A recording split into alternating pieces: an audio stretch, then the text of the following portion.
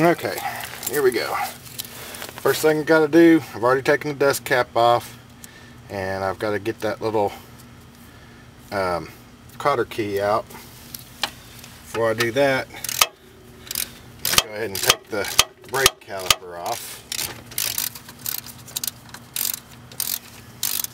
I don't ever actually film any of this where I'm physically doing the repair today I figured I'd do something a little bit different and actually show it in process. And I'll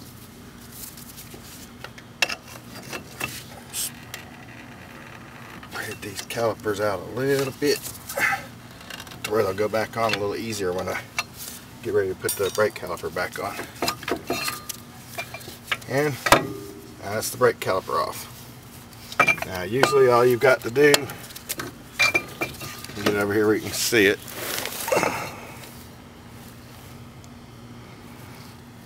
But usually all you've got to do is push these off and take that out to change the front brakes on your vehicle. I did actually think um, that I'd wind up having to change the brakes today too. And I've got a set of um, a set of ceramic brake pads to go back on it. They're high performance. Uh, a lot of people swear that you shouldn't use them, but I've actually had quite a bit of luck with them. I tried them out one time. They're more expensive, but they last a lot longer, so they're worth it. Well, to me they are anyway. Just if nothing else, so for the fact that I don't have to change them that often. Alright. I'm trying to get this cotter pin out without bending it or breaking it. And it's a little little screwy there. I'll straighten that out here in a little bit. I always keep it in the little dust cup. And I'm going to have to repack that because half the bearing grease that's on it now is really old. So I basically need to clean them and uh, Oh boy. Yeah, there it goes. I'm going to need to clean the bearings and repack them full of grease. Part of the reason I'm doing this little uh,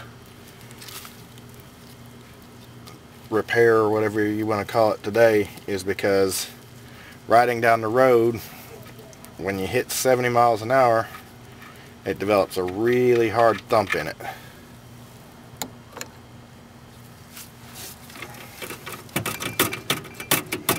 To let go of the go the washer. I'm gonna have to clean that off.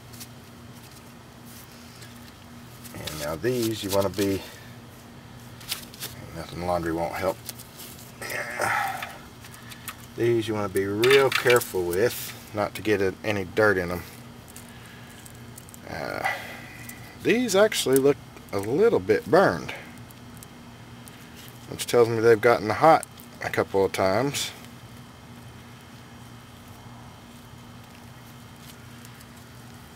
Of course, me wiping them with this don't help any.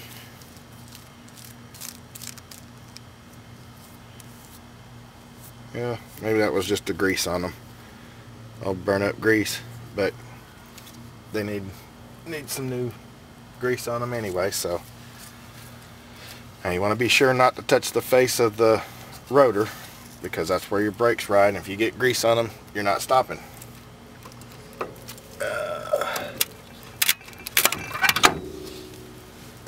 Uh, That's not good. Okay. Now like I'll show you, this thing, this right in here is the speed sensor gear. Which would mean this is your actual speed sensor right here. Let's say that's a 12 or a 13. Probably.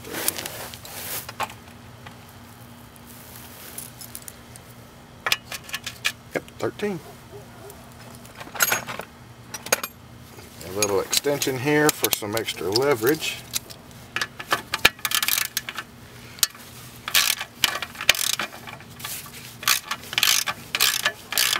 Loosen it up first and then we'll take it off. This is the farthest I've ever been into the front end of this truck.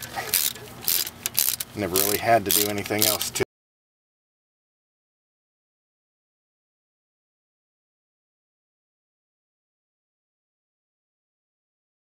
Um, basically, finished packing the bearings, packed the inside of the hubs uh, pretty well full with the uh, the grease also.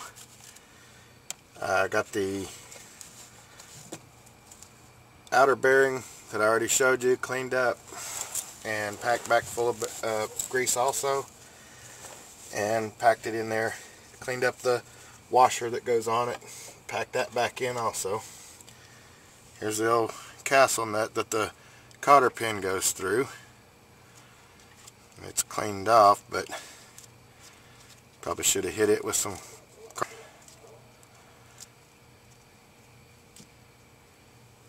You don't really have to tighten this down all that tight.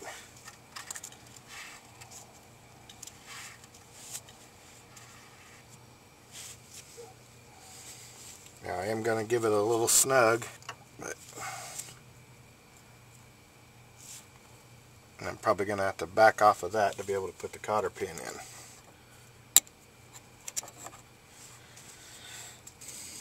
Make sure this cotter pin's good and straight so it'll go back down in there easy. You gotta go fishing for the hole. Like I said, if you've got to loosen it up that's to, for the cotter pin to fit in there properly, that's no big deal. If you'll notice, there's no uh, hard grinding noise in there like there was before. I don't know if you were, if I was able to, if the camera was able to pick it up before. But it sounded like sandpaper in there before, now it doesn't.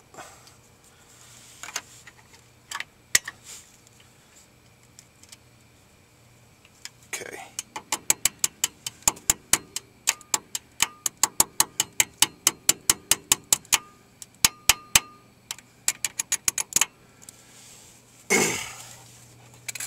Alright, got it started down in there good.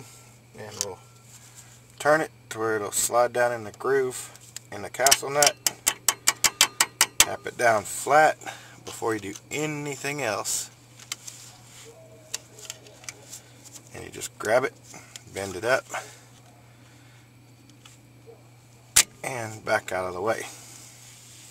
Clean out our dust cap. Just a little bit in the end of the cap. And you want to make sure your cap seat is cleared off good. Go ahead and line that up. And it didn't start in straight for me, so. But these should not be that hard to put in. They are a hard press fit, so you gotta hit them even, but you should be able to do them just like that with the, the butt of your hand. All we've got left to do now is put the brake caliper back on it.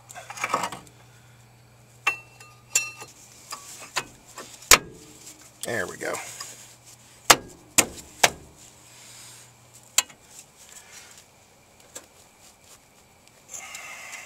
Guarantee that's probably about three or four pounds over torque just based on what I know. But there you have it. It's all back in place get these tires rotated and I'm done. Check you later. Thanks for subscribing. Don't forget to hit the thumbs up. I appreciate it. And I'll talk to you later.